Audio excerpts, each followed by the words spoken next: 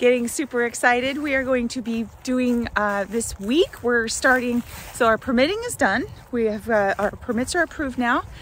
We have the pole barn that we're gonna be building first. We have that on order, so that's gonna be here in like two or three weeks. Very excited about that. And this week we're gonna start putting the gravel road in and getting the, um, the pad for our pole barn um, laid. I wanted to get a view of the entire flat property before we start putting a bunch of construction on it. So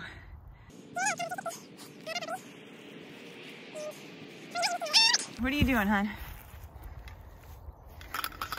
So what's- out for the driveway? What's been done so far? Like what have we got accomplished so far? Well, We've got our surveying done. We've got our building permit. We've got our septic permit. We've got our well done. Now we're getting ready to build the driveway and the rock pad for the building. So it's gonna be a Close. gravel driveway, right? Yep. Gravel driveway into a pad Pad for our pole barn. for the barn. Yep. And our pole barn is a 44 by 60, right? Yep. We were 44 by 60 monitor. 44, what does monitor mean? The center section's taller than the sides. Okay, gotcha. for the power. Oh, power. Go alongside the driveway. Okay, Rocking the driveway. and at the same time, he's putting in a trench for the power. Got to get power to a transformer up there by the house in the building.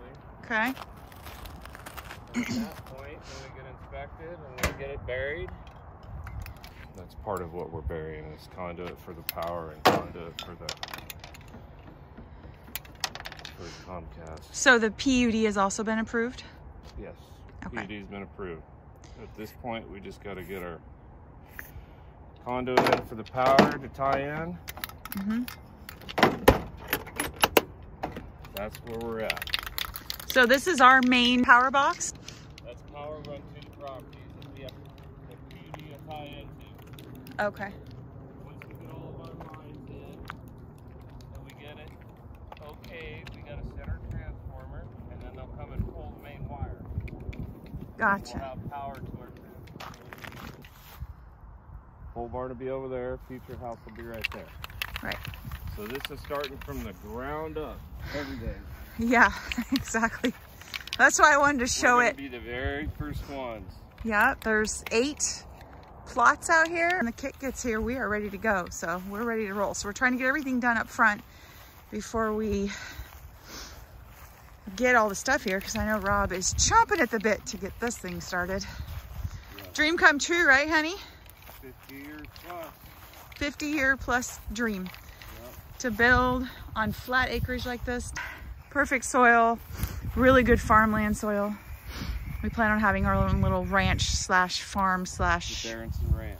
Baronston Ranch. That's what we're calling it. We're calling it a ranch because we'll have cattle, horses, all kinds of animals. That's all new for me, folks.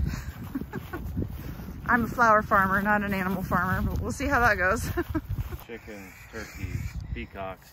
yeah, no. The proposed site for the house Mm-hmm. Okay. It's going to be a barn style home. Yep. We're going to create an open beam house. Open timber, open beam, Yep. big vaulted barn style. It'll look like a barn basically. On the outside, yeah. Yep, from the outside it'll look like a barn. it's gonna be kind of like a rustic style home. We want to start a new trend. Choose the shop, pole Right. barn. Yep. Once we get our driveway in, we dig the ditch line, that's the transformer. We'll have a rock pad out here, and this will be a pad for our building. The pole barn. It's gonna look very different in a week from now. Starting from scratch.